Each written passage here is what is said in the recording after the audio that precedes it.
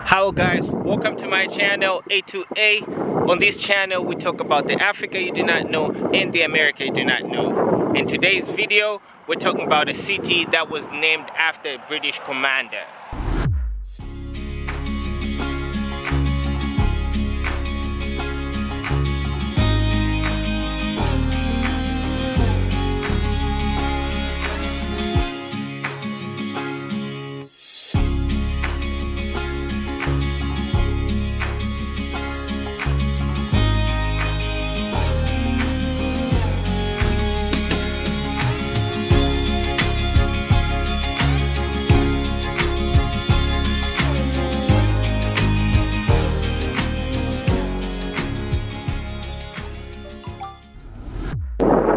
So when I moved to the US, I came to find out that a lot of people do not know about the rich history behind the African cities and the African countries.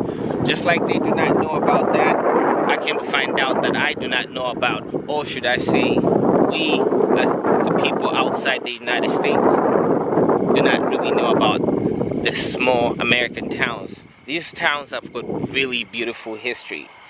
And I want you to come with me so we can learn about them.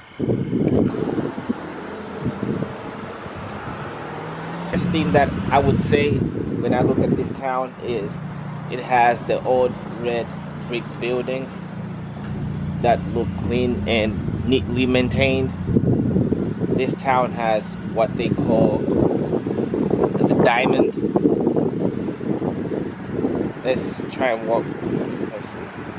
The diamond today is seen as a decorative feature and community gathering space.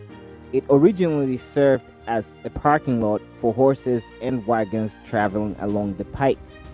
The diamond remained as such until 1894 when Ligonier joined the City Beautiful movement. The diamond was transformed into a public park with lamps, sidewalks, landscaping, and a bandstand. As you can see, that's a diamond right there.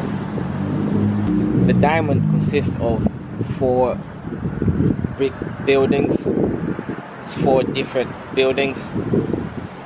So the other block of the buildings consists of uh, ice cream place and a Mexican restaurant.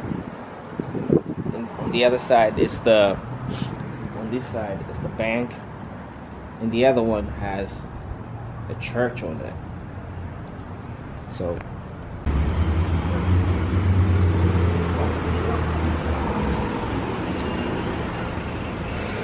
Is that ice cream good? Yeah. Alright. It's crowded in there too. Oh, is it? That means it's good. Yeah. Yeah, whenever whenever somebody says it's crowded, then I know it's good. Okay. Thank you. Alright. I'll I'll probably check it out later. Have fun. Alright, you too. Whoa, whoa, whoa, whoa.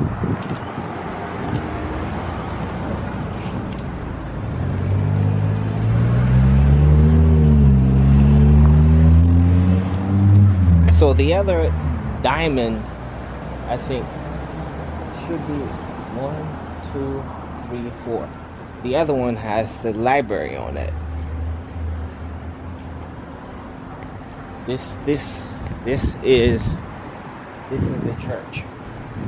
And that's that's the library right there. That's the town hall. That's the that's the other one that has the ice cream place on it.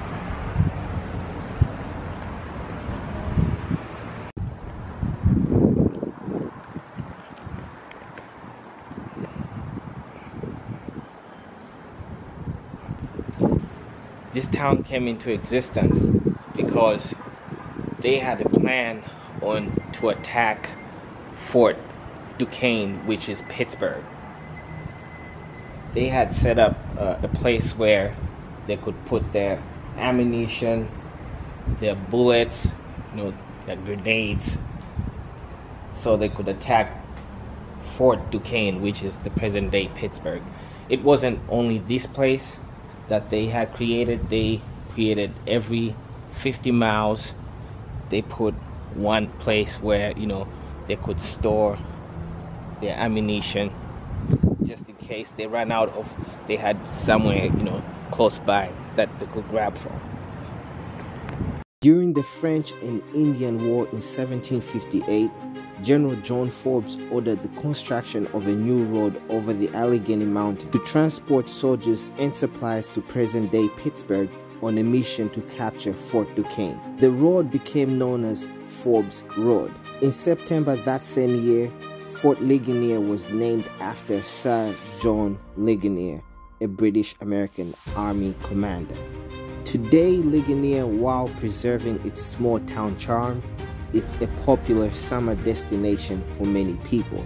If you want me to make more videos about what to do in Ligonier, PA, please comment down below.